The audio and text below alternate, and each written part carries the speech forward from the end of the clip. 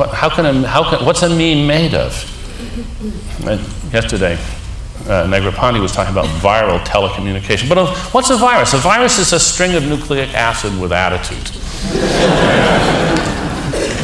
that is, there's something about it that tends to make it replicate better than the competition does.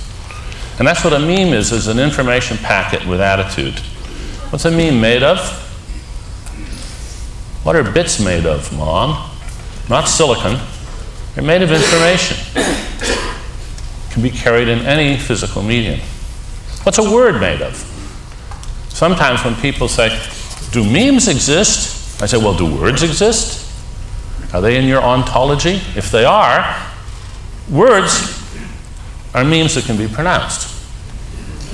Then there's all the other memes that can't be pronounced. They're different, different species of memes.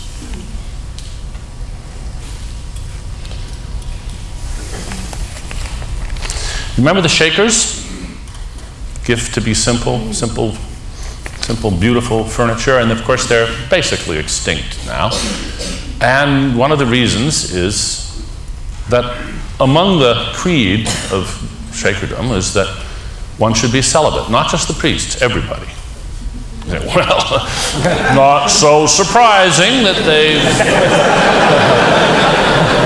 that they've gone extinct. But in fact, that's not why they went extinct. They survived as long as they did at a time when the social safety nets weren't there, and there were lots of widows and orphans, people like that, who needed, who needed a foster home. And so they had a ready supply of converts, and they could keep it going. And in principle, it could have gone on forever. With perfect celibacy on the part of the hosts, the idea being passed on through proselytizing instead of through the gene line. So the ideas can live on in spite of the fact that they're not being passed on genetically. A meme can flourish in spite of having a negative impact on genetic fitness. After all, the meme for Shakerdom was essentially a sterilizing parasite.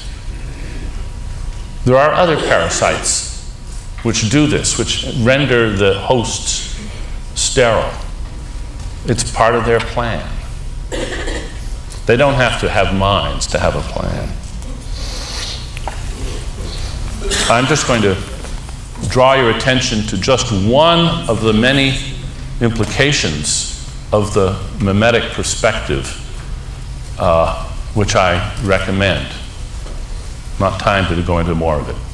In Jared Diamond's wonderful book, Guns, Germs, and Steel, he talks about how it was germs more than guns and steel that conquered the new hemisphere, the Western hemisphere, that conquered the rest of the world. When European explorers and travelers uh, uh, spread out, they brought with them the germs that they had become essentially immune to that they had learned how to tolerate over hundreds and hundreds of years, thousands of years of living with domesticated animals that were the sources of those pathogens. And they just wiped out, these pathogens just wiped out the native people who had no immunity to them at all. And we're doing it again. We're doing it this time with toxic ideas. Yesterday, a number of people, Nicholas Negroponte and others, spoke about all the wonderful things that are happening when our ideas get spread out thanks to all the new technology all over the world. And I agree, it is largely wonderful, largely wonderful. But among all those ideas that inevitably flow out into the whole world thanks to our technology are a lot of toxic ideas.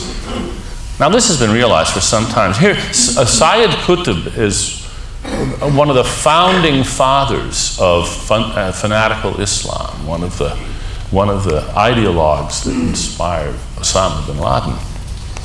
One has only to glance at its press films, fashion shows, beauty contests, ballrooms, wine bars, and broadcasting stations. Memes. These memes are spreading around the world and they are wiping out whole cultures. They are wiping out languages. They are wiping out traditions and practices. And it's not our fault any more than it's our fault when our germs lay waste to people that haven't developed the immunity. We have an immunity to all of the junk that lies around the edges of our culture. We free society, so we let pornography and all these things, you know, we eh, we shrug them off. They're, they're, they're like a mild cold. They're not a big deal for us. But we should recognize that for many people in the world, they are a big deal.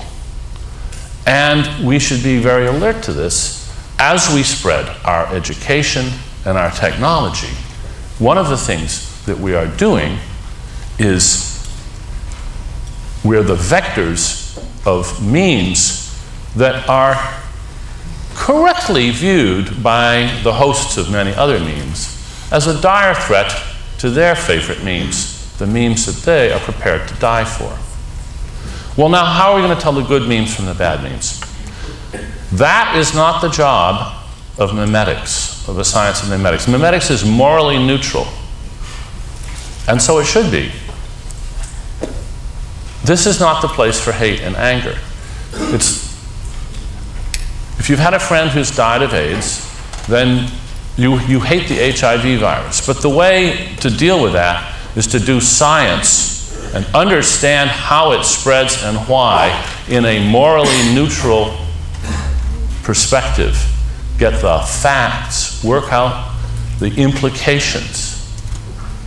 There's plenty of room for moral passion once we've got the facts and can figure out the best thing to do. And as with germs, the trick is not to try to annihilate them. You will never annihilate the germs. What you can do, however, is foster uh, public health measures and the like that will encourage the evolution of avirulence, that will encourage the spread of relatively benign mutations of the most toxic varieties. That's all the time I have. So, uh, thank you very much for your attention.